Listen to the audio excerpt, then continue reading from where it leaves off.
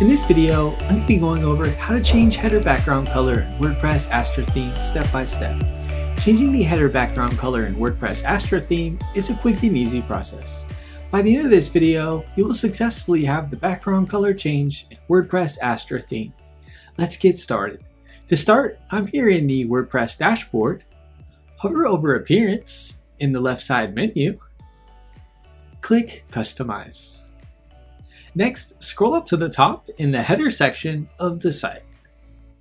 You'll see the pencil icon showing here in the top left. Click this. Click Design.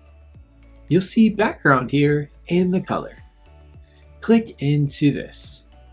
You can now change the color to whatever you'd like. Once you have the color input, click the Publish button to save your changes. I'll now bring up a view of my site and you'll see the header background color in WordPress Astra theme has successfully been changed to the color I selected. That is how to change header background color in WordPress Astra theme.